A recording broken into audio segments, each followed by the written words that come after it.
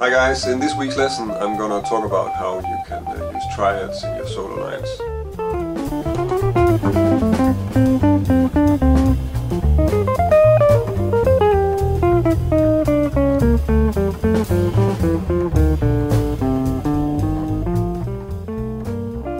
To me, triads are one of the strongest melodic devices that I can use when I'm soloing, so I use it in all sorts of contexts to spell out superimposed harmony or to spell out uh, the harmony that's really there in, in many different ways.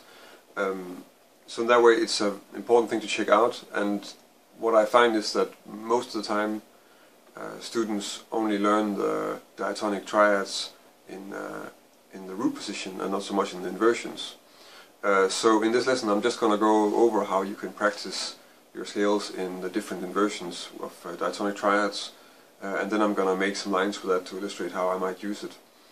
Um, I think practicing the triads in inversions is also a very handy thing for your theory because you need to be able to understand uh, for each triad what is the third or what is the fifth um, so you understand the structure uh, and the theory behind each uh, chord a little bit better.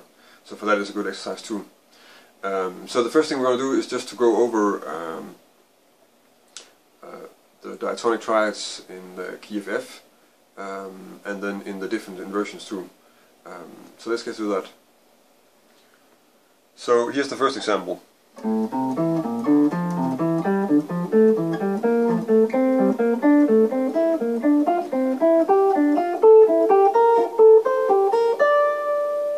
So that's basically just this position of the F major scale played in diatonic triads. So let's try and do the same, but then do first inversion triads. So that means that we're going to have, the first one is going to be an F. Uh, so that would be the second example, and that sounds like this.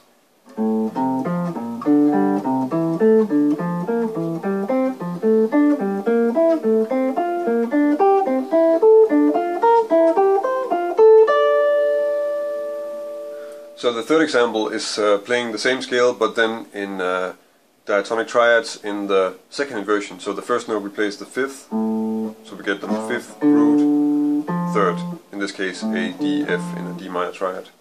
That sounds like this.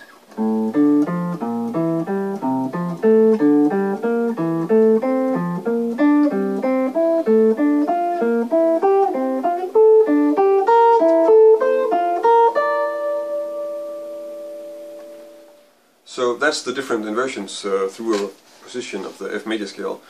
Um, the reason why I pre prefer to often play stuff through a scale fingering is that when I'm improvising then the sort of the basic layout of what's going on is still going to be this uh, this fingering of, of, for instance, a major scale um, and that's sort of what I'm fitting everything else into. Uh, so it's nice to have this as a backdrop for, for any technical exercise that I'm working on. Uh, of course you can still just play the, the, the, triad by itself in any position and just play that one and try and play it in, uh, in, in, inversions too. That's, that's always a good exercise. But in this case it's also connecting it to um, sort of a harmonic environment, which is what you need to do when you're playing, for instance, a cadence, like what we're going to do in the examples later. Um, so um, let's just um, go on to the examples. Well, maybe actually one thing first. So the way you apply these triads, um, you might know how you construct chords that you stack up thirds. Like if I have to build, um, in the case of this this scale, if I have to build a G minor chord, then I'm gonna stack up thirds within that scale. So it's gonna be like G, B flat, D, F, and if I keep on going, A and C. Um, so that's the process of building the chord and then adding the, the extensions that we have. Uh, and if you use that, then you can sort of just isolate, isolate three of them and then you'll have a triad. So if I have my G minor uh, 11 here, then of course it's a G minor triad, a B flat major triad, D minor, or F triad. So all these triads are gonna sort of sound like a, a, a, certain set of colors on top of my G minor chord. And they're gonna be, the higher I get uh, the more the further away they are from really sounding like the chord and sounding like only extensions, which can cause you to make some really vague lines if you're only using the upper structure of the chord. Um, but maybe if that's what you want, then that works really well too, of course. Um, so that means that's how I'm going to select the different uh, triads that I, I use. Um, so basically, for every chord you, you're playing on, I think you should at least check out using the, the just the triad of the chord itself and the one from the third, and probably also the one from the fifth. Um, and then in some cases, the one from the seventh is going to work really well too. But then you can get into um, some less uh, clear lines, of course.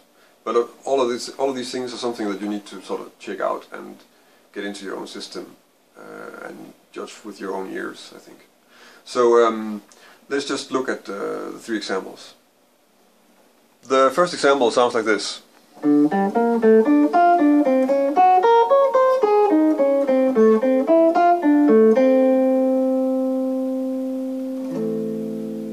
So basic, uh, well actually also dominant, so basic 251 in uh, F. Um, and the first thing I play, well, second inversion G minor triad, uh, and uh, that fits very nicely to continue in a second inversion D minor triad. And then for the C7 altered, so since that's uh, the same as uh, D flat melodic minor, I have an uh, G flat and an A flat major triad, so that's what I'm playing there. So I'm going up the the inversion G flat and then going down second inversion A flat and then I'm resolving that to the C on the F. And on the F I'm playing first an A minor triad and then again a D minor triad. So one is like root position A minor, second inversion D minor. So the second example sounds like this.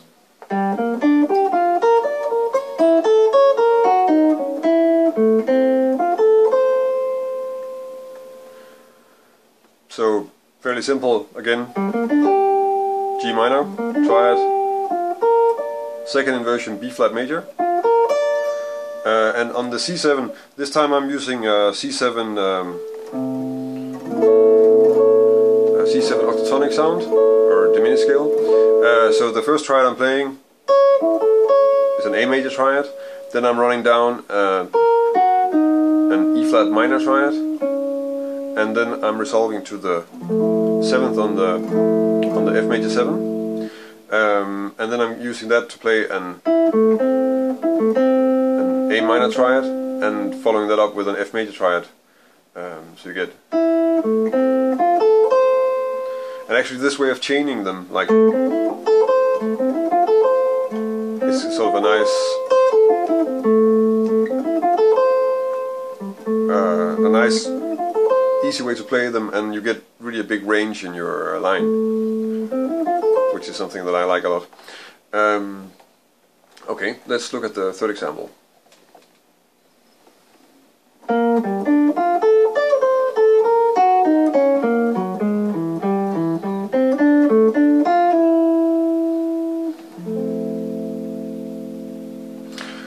So this line, um, again, in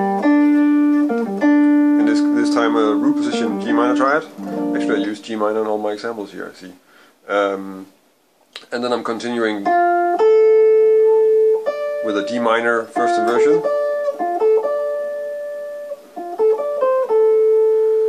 Then I'm doing this other way of chaining triads, which is um, for the C7 altered.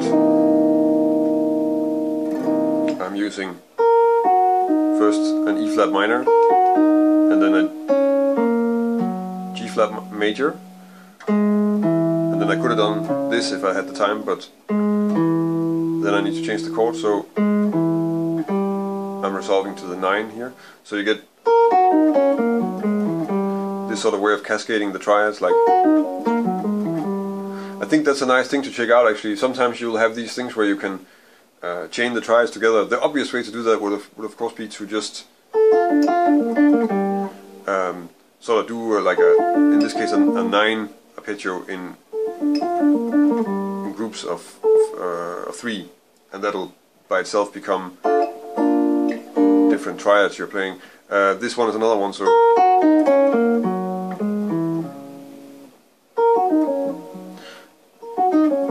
And I often look for those kind of things because I, I like the way they move uh, together. It sounds sort of familiar. Using that the triad is a strong melody, and at the same time you're also uh, trying to make it a little bit surprising how it moves from one to the next one. Um, yeah, so resolving to the 9, which I'm then turning into a first inversion C major triad, which is the triad from the 5th on the, on the F major 7. Um, and then I'm going back to my D minor second inversion before I'm resolving to the 7th on the F major 7. I think you can see that certain things are sort of very obvious to use when you're in this position, uh, which the, the second inversion for some reason of this D minor is like all over the place. Um, but for the rest there's nothing else really sort of uh, that I need to mention about that I guess. So there were three examples uh, on how I might uh, use triads in my solo lines and how I try to com come up with new ideas uh, using them in uh, inversions. I think the point of this is of course just that you need to check out your inversions and try and use them also so you have basically you have three different triads whenever you know one triad um, melodically anyway uh, when you have that in your system and you have that as part of your vocabulary. Uh, another thing maybe for another lesson to check out is like all the different patterns you can play through a scale uh, with a triad or with a triad inversion. Um, but uh, that's going to be another week I think. Um, I hope you can use it. In any case, uh, thank you for watching. If you liked the lesson, then uh, feel free to like it uh, here on YouTube or subscribe to my channel. Of course, you can go to my website where I have a PDF of the lines and also the scale exercises that you can download. Um, and you can also subscribe to my newsletter there if you want to stay up to date whenever I make a new lesson or if there's a new release or something else happening. Um, if you have any comments, you can of course leave them here on the video and you can also uh, connect with me on uh, Facebook or Twitter or uh, Instagram or Google Plus if you have any questions or any remarks. Also if you have suggestions for uh, things I should do uh, lessons on. Uh, so um, until next week, thank you for watching.